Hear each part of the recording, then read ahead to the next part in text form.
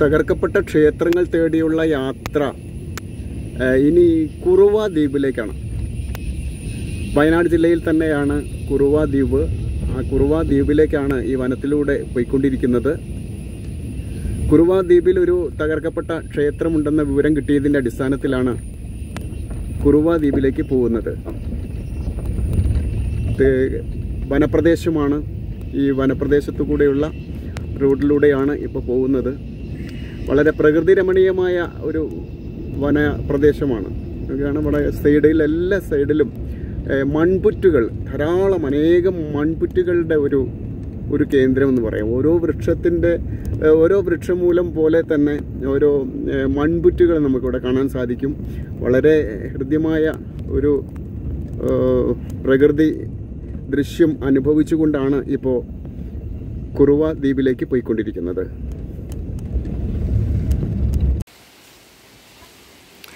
അങ്ങനെ ഞാൻ എന്റെ യാത്ര ഏതാണ്ട് ക്ഷേത്രത്തിന്റെ ആ റോഡ് ഇവിടെ അവസാനിക്കുകയാണ്. ക്ഷേത്രത്തിലേക്കുള്ള റോഡ് അവസാനിക്കുകയാണ്. ഇത് ചെറിയാമല കോളനി എന്ന് പറയുന്ന ഒരു കോളനിയിലൊക്കെയാണ് ഞാനിപ്പോൾ എത്തിയിരിക്കുന്നത്. ചെറിയാമല കോളനി. ഇത് വനവാസികളുടെ ഒരു കോളനിയാണ്. ഏതാണ്ട് നാൽപ്പത്തി അഞ്ചോളം കുടുംബങ്ങൾ ആണ് വനവാസി കുടുംബങ്ങളാണ് ഇവിടെ താമസം അവരുടെ ഒരു കോളനിയാണ്. അവരുടെ കൂടെ ഒരു ക്ഷേത്രമാണിത്. അവരുടെ ഗോത്ര സംസ്കാരവുമായി ബന്ധപ്പെട്ട് അവരുടെ ഒരു ക്ഷേത്രമാണ്. ഈ കോളനിയിലെ ആളുകളാണ്. അവരുടെ ഒരു ക്ഷേത്രമാണിത്. അതവരുടെ ഗുരുസ്ഥാനീയനായ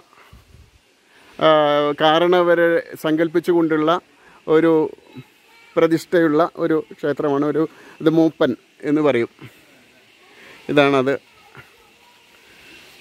ഈ കോളനി കടന്ന് കഴിഞ്ഞിട്ട് വേണം നമുക്ക് ക്ഷേത്രത്തിലേക്ക് എത്താൻ. ഇത് ഒരു മറ്റൊരു ഈ കോളനിയിൽ തന്നെ ഒരു വീടാണ്.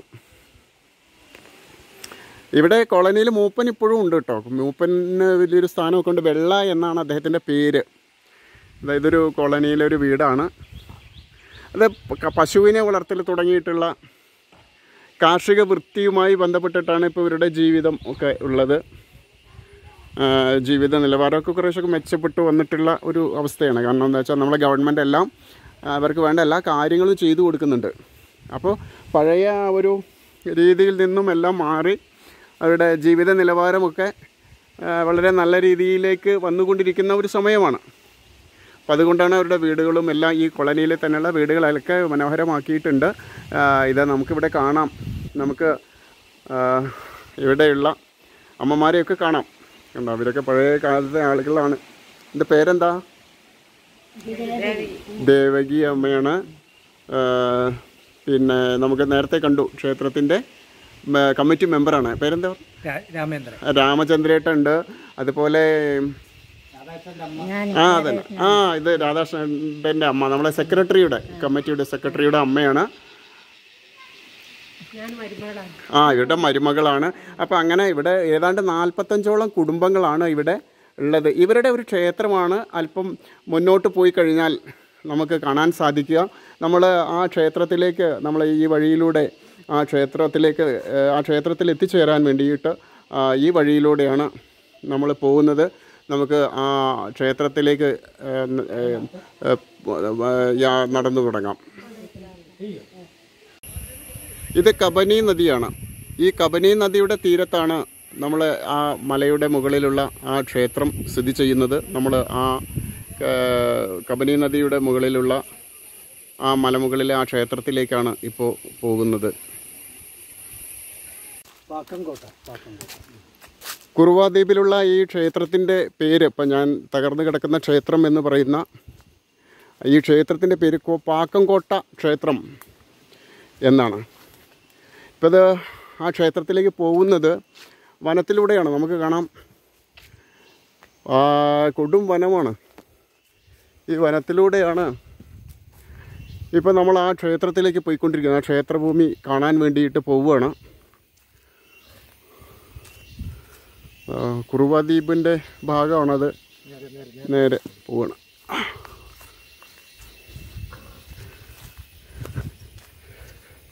ഈ വനത്തിലൂടെയാണ് പാക്കംകോട്ട എന്ന ആ ക്ഷേത്രത്തിലേക്ക് പോകുന്നത്. കൊടും വനത്തിലൂടെ. എന്നിട്ടാണോ? എന്താ നേരെ പോകണം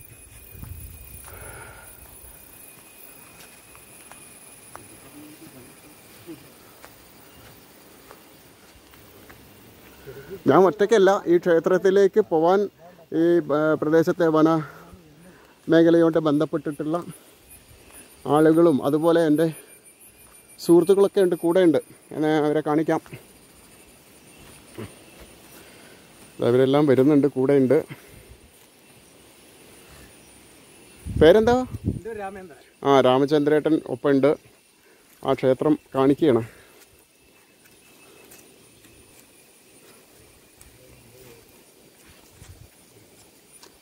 ാണ് പോകുന്നത്.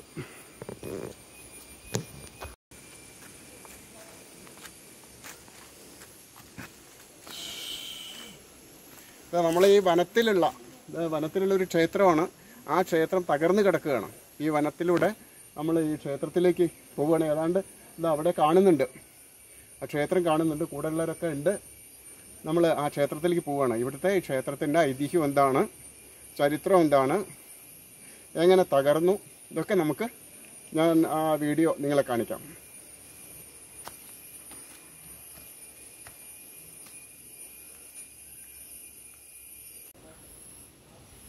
വനമേഖലയിൽ കബനിയുടെ കിഴക്ക് ഭാഗത്ത് ചെറിയാമല കോളനി ഇതൊരു മലയാണ്. ഞാൻ കടന്നു വന്ന വഴികൾ നിങ്ങൾ കണ്ടിട്ടുണ്ടായിരിക്കും. ആ വഴി എത്തിച്ചേരുന്നത് ഈ ഒരു ക്ഷേത്ര ദേവഭൂമിയിലാണ്. ഇത് വനവാസികൾ ആരാധിച്ചു വന്നിരുന്ന ഒരു ക്ഷേത്രമാണ്. ഇവിടെ നിരവധി ഏഹ്, ഉപ ക്ഷേ വിഗ്രഹങ്ങളെല്ലാം ഉണ്ട്. ഇത് ഒരു കാലത്ത് തകർന്ന് കാടുമൂടി കിടക്കുകയായിരുന്നു. ടിപ്പുവിന്റെ പടയോട്ടക്കാലത്ത് തകർക്കപ്പെട്ട ഒരു ക്ഷേത്ര സമുച്ചയമായിട്ടാണ് ഇവിടെയുള്ളവർ പറയുന്നത് ഇവിടെയുള്ള ഭക്തജനങ്ങൾ പറയുന്നത്. ഈ വനവാസി മേഖലയിലുള്ളവരുടെ ഗോത്ര സംസ്കാരവുമായി ബന്ധപ്പെട്ട ഗോത്ര തലത്തിലുള്ള ആരാധനയുമായി ബന്ധപ്പെട്ട ദേവസങ്കല്പമാണ് ഇവിടെയുള്ളത്. ഇത് ആ, ഇത് ബാലാലയമാണ്.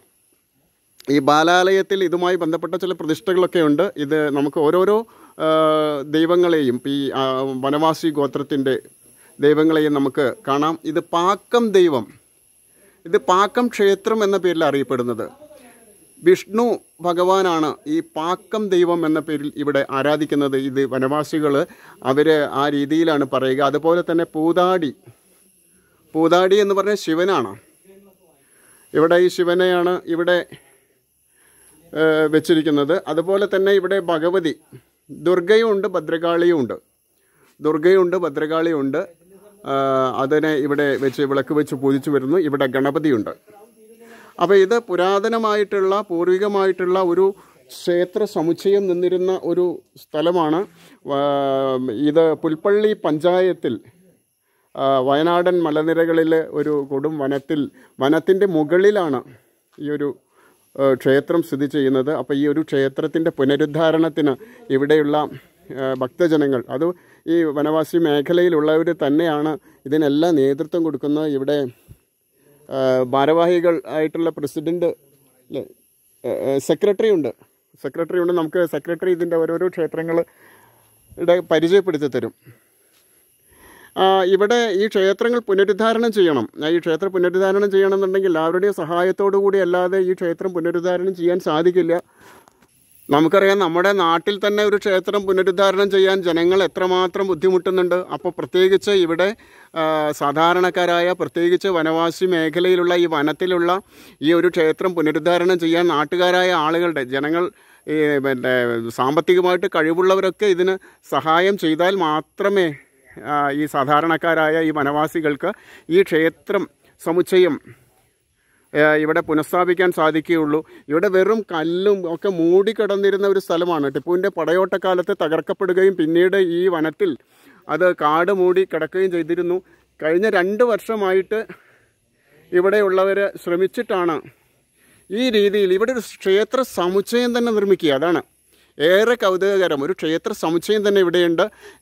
ഇവിടെ നിർമ്മിച്ചുകൊണ്ടിരിക്കുന്ന ഈ ക്ഷേത്രം ഏതൊക്കെ ദേവന്മാർക്കുള്ളതാണെന്ന് നമുക്ക് ഈ ക്ഷേത്ര കമ്മിറ്റിയുടെ സെക്രട്ടറിയോട് ചോദിച്ച് മനസ്സിലാക്കാം. രാധാകൃഷ്ണൻ നമ്മളോടൊപ്പമുണ്ട്. നമുക്ക് ചോദിച്ച് മനസ്സിലാക്കാം. ഇത് ശിവനും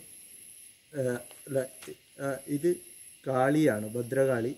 അതായത് നരകാശുര പദത്തിന്റെ ഒരു സാന്നിധ്യത്തിൽ ത്രിമൂർത്തികൾ ആയുധം കൊടുത്തിട്ടുള്ള ദേവിക്ക് താങ്ങാൻ പറ്റാതെ നിൽക്കുന്ന ഒരു ഭാവത്തിൽ നിൽക്കുന്ന ഒരു കാളി രൂപത്തിൽ നിൽക്കുന്നൊരു ക്ഷേത്രമാണിത്. അതിന് നേരെ ഓപ്പോസിറ്റ് ആയിട്ട് ശിവൻ നിൽക്കുന്നുണ്ട്. അതായത് ദേവിക്ക് ത്രിമൂർത്തികളെ ആയുധം താങ്ങാൻ പറ്റാത്തത് കൊണ്ട് സഹായിക്ക് സഹായത്തിനായി സഹായം നൽകുന്നതിനായിട്ടാണ് ശിവൻ നേരെ ഈ മുന്നിൽ നിൽക്കുന്നത്.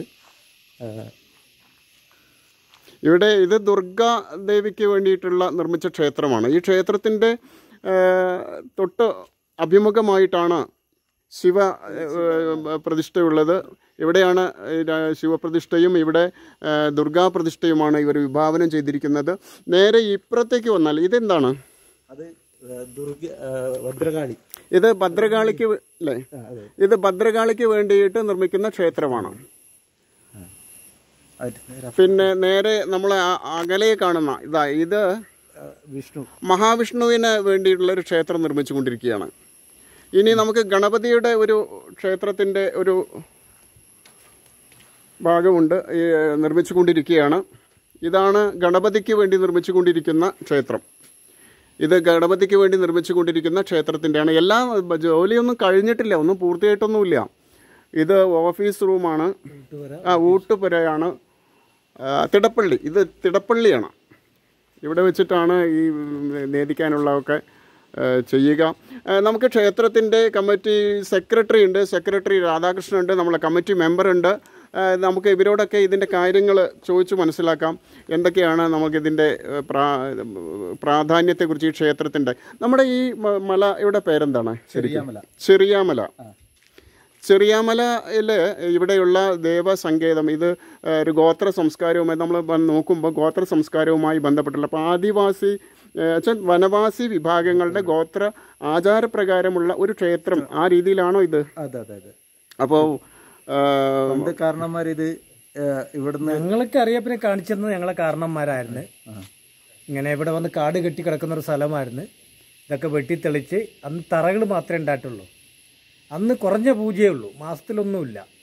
അന്ന് എന്ന് പറഞ്ഞാൽ ഒരു തുലാപ്പത്ത് ഒരു ഏഴാം വിഷു പിന്നെന്താണ്? ഒരു ഏഴാം ഓണമാണ് ആ ഈ മൂന്നെണ്ണേ ഞങ്ങൾ ചെറുപ്പത്തിറങ്ങുന്ന സമയത്ത് ഉണ്ടായിരുന്നുള്ളൂ. അത് അന്ന് പിന്നെ സാമ്പത്തികമായിട്ടില്ല അങ്ങനെ ഒരുപാട് ബുദ്ധിമുട്ട് അന്ന് ഇതൊക്കെ ഇടിഞ്ഞു പോലും തറകൾ മാത്രമേ ഉള്ളൂ. ഇതെങ്ങനെ തകർന്നത് ഈ ക്ഷേത്രം? എങ്ങനെയാണ് അതിന് പറഞ്ഞു കേട്ടിട്ടുള്ളത് പറഞ്ഞു കേട്ടിട്ടുള്ള ടിപ്പുവോ? സുൽത്താൻ ഇത് പറഞ്ഞു കേട്ടിട്ട് ഒരു ബ്രിട്ടീഷ് കാലഘട്ടമൊന്നുമല്ല. ഇത് ശരിക്കും പറഞ്ഞ മുത്തച്ഛന്മാർ പറയുന്നത് അവരൊക്കെ ഇവിടെ വരുന്ന മുമ്പിലാണല്ലോ. അവരൊക്കെ ഉള്ളപ്പോൾ തന്നെ ഈ ബ്രിട്ടീഷ് ഇതൊക്കെ ഉണ്ട്. തെളിഞ്ഞ് പക്ഷെ എന്താ സംഭവം എന്ന് വെച്ചാൽ യഥാർത്ഥത്തിൽ ഇത് ഏതോ കാലത്തിൽ ഉപേക്ഷിക്കപ്പെട്ട ഒരു ക്ഷേത്രമാണ്. ജനവാസമുണ്ടായിരുന്ന കാലം. ഇത് എന്തോ ഒരു കാരണത്തിൽ ഇപ്പോൾ കോവിഡ് പോലുള്ള മഹാമാരി വന്ന് ഈ പ്രദേശം മുഴുവൻ ജനങ്ങൾ നശിച്ചു പോയി. അങ്ങനെ ഉപേക്ഷിച്ച് പോവുകയാണ് ചെയ്തത്. അപ്പോൾ ഈ വനവാസികൾ വീട്ടിൽ പിന്നീടാണ് ഈ വനവാസികൾ ഇവിടെ എത്തുന്നത്. വനവാസികൾക്ക് മുമ്പുണ്ടായിരുന്നു. മുമ്പുണ്ടായിരുന്നു. അങ്ങനെയാണെങ്കിൽ ഞാനൊരു കാര്യം ചോദിക്കട്ടെ? ഈ ക്ഷേത്രഭൂമിയിൽ പല സ്ഥലത്തും പിന്നെ കല്ലിന്റെ കുഴികൾ കണ്ടിട്ടുണ്ടോ? തറകളുണ്ട്. തറകളുണ്ട്. അപ്പൊ ഇത് അന്ന് കാലത്ത് ഉപയോഗിച്ച മണ്ണ് കൊണ്ടുണ്ടാക്കുന്ന വിളക്കുകളുണ്ട് ഈ പ്രദേശം ഓ അപ്പൊ ഇത് ഞാൻ നേരത്തെ ഇവിടെ വന്നപ്പോൾ തന്നെ മനസ്സിലാക്കി ഈ ഒരു ഭൂമി എന്ന് പറയുന്നത് ശിലായുഗ കാലവുമായി ബന്ധപ്പെട്ട ഒരു ഭൂമിയാണ്. ശിലായുഗ കാലവുമായി ബന്ധപ്പെട്ട ഈ ഭൂമിയിൽ ഇവിടെ അവർ ഉപാസിച്ചിരുന്ന കുറേ ദേവതാ സങ്കല്പങ്ങളും കാര്യങ്ങളൊക്കെ ഉണ്ടായിരുന്നു. അവരുടെ കാലശേഷം പിന്നെ ഇത് ഇത് വനവാസി വിഭാഗങ്ങൾ ഏറ്റെടുത്തു. പിന്നീട് ഇത് തകർന്നു പോയി. ഇപ്പൊ ഇദ്ദേഹം പറഞ്ഞതുപോലെ ടിപ്പുവിന്റെ പടയോട്ട കാലത്ത് ബ്രിട്ടീഷുകാരുടെ മുമ്പ് പടയോട്ട കാലത്ത് ഇത് തകർക്കപ്പെട്ടു എന്നാണ് ഒരു വിശ്വാസം എന്നാണ് ഇദ്ദേഹം പറഞ്ഞത്. അല്ലേ? അങ്ങനെയല്ലേ അതിന്റെ ഒരു വിശ്വാസം? അതിനുശേഷം ഇത് കാട് മൂടി കടന്നു പിന്നെ നിങ്ങൾ ഇതെല്ലാം പുനരുദ്ധാരണം ചെയ്യാൻ ശ്രമിക്കുന്നു. അല്ലേ? പിന്നെ അതിനിടയ്ക്ക് കുറെ ആളുകളൊക്കെ വേറെ വന്ന് അവരൊക്കെ വീണ്ടും ഇട്ടെറിഞ്ഞു പോയി. ഇട്ടെറിഞ്ഞു പോയിട്ടുണ്ട്. കാരണം എന്താ വെച്ചാൽ ഇവിടെ സാമ്പത്തികമില്ല. ഇവിടുത്തെ സാഹചര്യങ്ങൾ കിട്ടാനൊന്നുമില്ല.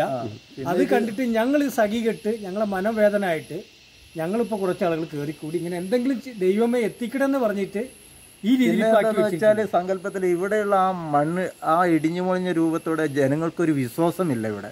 ആൾക്കാർക്ക് ദൈവമുണ്ടോ ഇതാണോ അമ്പലം എന്നൊക്കെ ഉള്ളൊരു കാഴ്ചപ്പാടായിരുന്നു. വരുന്ന ജനങ്ങൾക്ക്. ഇപ്പോ വരുന്ന ജനങ്ങൾക്ക് ഇവിടെയുള്ള ആൾക്കാർക്ക് ഇവിടെയുള്ള ആൾക്കാർക്കല്ല പുറത്തുനിന്ന് വരുമ്പോ ഇതാണോ പാക്കംകോട്ട എന്നൊക്കെ ഉള്ളൊരു അവരൊരു കോട്ട എന്നൊരു സങ്കല്പത്തിലാണ് വരുന്നത്. അപ്പൊ അങ്ങനെയാണ് ഇതിന്റെ ഒരു ആ ഒരു പിന്നെ ഒരാൾ വന്ന് ഇവിടെ ഏറ്റെടുക്കുകയും ചെയ്തു.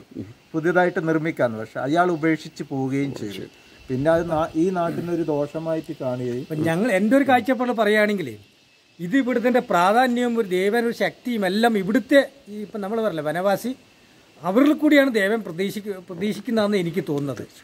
ഇപ്പം ഞങ്ങളിപ്പോൾ കയറി വന്ന ഒരുപാടും സാമ്പത്തികമുള്ള ഒരുപാട് അറിവുള്ള ആളുകളൊക്കെ കൂടെ ഒന്ന് എന്താ വെച്ചാൽ പ്രവർത്തിച്ചിട്ടുണ്ടായിരുന്നു അവരൊക്കെ ഇട്ടെറിഞ്ഞു പോവുകയും ഇപ്പം ഈ നില ഞങ്ങളൊരു സാമ്പത്തികമായിട്ട് ഒരു കാഴ്ചപ്പാടില്ലാത്ത ആളുകളും ഒക്കെ ആയിട്ട് കുറച്ച് ആളുകൾ കൂടി ഈ രീതിയിലൊക്കെ എത്തിച്ച് ഇനി ദേവൻ അതിനുള്ള എല്ലാ പരിഹാരവും ഉണ്ടാക്കുമെന്നാണ് ഞങ്ങളൊരു വിശ്വാസം. എല്ലാവരും സഹായിക്കുന്നുള്ള വിശ്വാസത്തോടെ ഞങ്ങൾ നിൽക്കുന്നത്.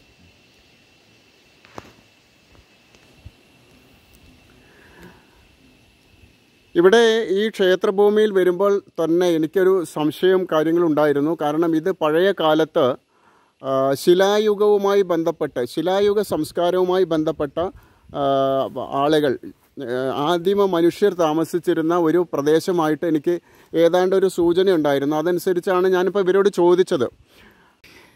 ഈ ക്ഷേത്രഭൂമിയിൽ ഒരു ഉരൽ കാണാം നമുക്ക്. ഇത് കരിങ്കല്ലിന്റെ ഒരു ഉരലാണ് അത് ഈ ക്ഷേത്രവുമായി ബന്ധപ്പെട്ടത് പുരാതനമായിട്ടുള്ള ഉരലാണ് മാത്രമല്ല ഈ ക്ഷേത്രത്തിന്റെ